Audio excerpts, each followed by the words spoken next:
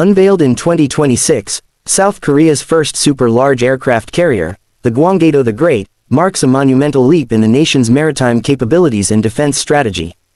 Named after one of Korea's most legendary monarchs, King Gwanggaeto, known for expanding the territory and influence of the Goguryeo Kingdom, this next-generation carrier is not just a military vessel, it's a symbol of national pride, technological excellence, and South Korea's arrival as a blue-water naval power capable of global reach.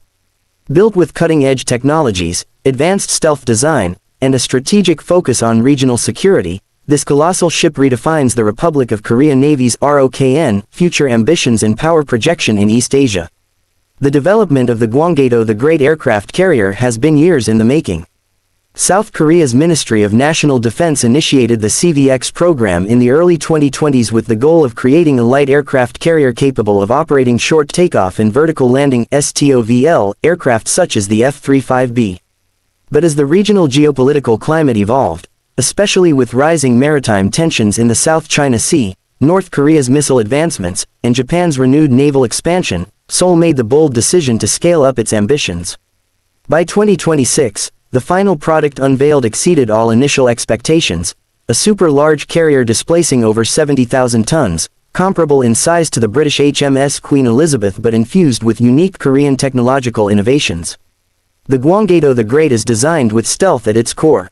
Its superstructure features angular lines, radar-absorbing materials, and a low observable flight deck profile to reduce radar cross-section.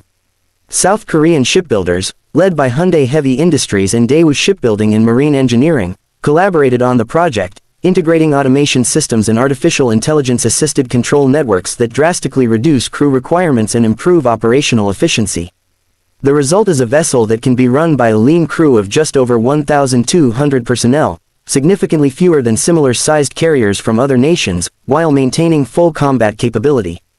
The flight deck of the Gwanggaeto the Great is designed to support a versatile air wing that can be rapidly reconfigured depending on mission needs. The ship can accommodate up to 40 aircraft, including F-35B Lightning IIs, advanced rotary drones, AWACS-style helicopters, and future-generation unmanned combat air vehicles UCAVs currently under development by Korean Aerospace Industries KAI. The incorporation of drone technology gives the ship a distinct advantage, its carrier air wing is not limited by human pilots, allowing for extended surveillance, electronic warfare, and strike missions beyond traditional limits. This flexibility positions the Gwanggaeto as not just a floating airbase, but as a fully integrated digital command and control hub for future warfare. The power plant of the Gwanggaeto the Great is a hybrid propulsion system combining gas turbines with next-generation electric propulsion units, offering both speed and stealth. Capable of reaching speeds up to 30 knots, the carrier can move swiftly across strategic waters, while its silent electric mode ensures minimal acoustic signature, an essential feature in modern naval operations. The onboard nuclear deterrence infrastructure is not direct, but the vessel can operate alongside South Korea's new fleet of nuclear-powered submarines, forming a formidable task group capable of sustained operations without foreign logistical dependency. The interior of the carrier reflects the sophistication of its design philosophy. Automated logistics systems manage ammunition, food, and spare parts storage using robotic elevators and AI-based tracking systems. The command center, often referred to as the ship's brain, features 360-degree situational awareness through augmented reality displays, data fusion systems, and real-time linkages to satellites and reconnaissance drones. This gives commanders an unprecedented operational picture, integrating